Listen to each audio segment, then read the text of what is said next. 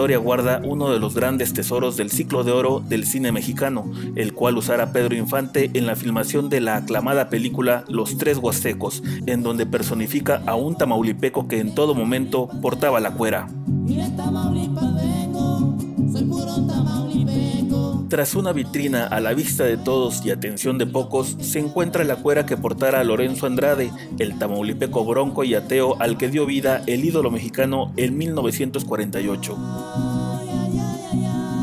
Francisco Ramos Aguirre, cronista de Victoria, afirma que la cuera fue donada por una señora que radicaba en Ciudad Victoria, pero nació en la Ciudad de México, y a quien Pedro Infante le obsequió en aquellos años la pieza que en un principio pertenecería a el Museo Regional de la Música Tamaulipeca. Sin embargo, al cerrar se guardó para el Museo Regional de Historia de Tamaulipas.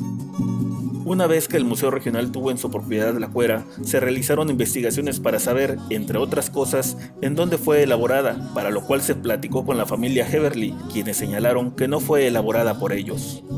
El cronista de Victoria señala que esta cuera formó parte de la vestimenta de la película de los tres huastecos, la cual probablemente fue utilizada en algún momento de la filmación del largometraje, en donde el ídolo de México personifica a un tamaulipeco. Sin embargo, el historiador apuntó que en esa época no solo en Tamaulipas se elaboraban cueras, por lo que esta pudo haber sido creada en Guerrero, Nuevo León o Oaxaca. La prenda podría tener unos 80 años, de los años 40 o 50 en que se filmó esa película, afirmó Ramos Aguirre. Con información de Raúl López para Expreso, Jorge Castillo. Si fueras a Tamaulipas,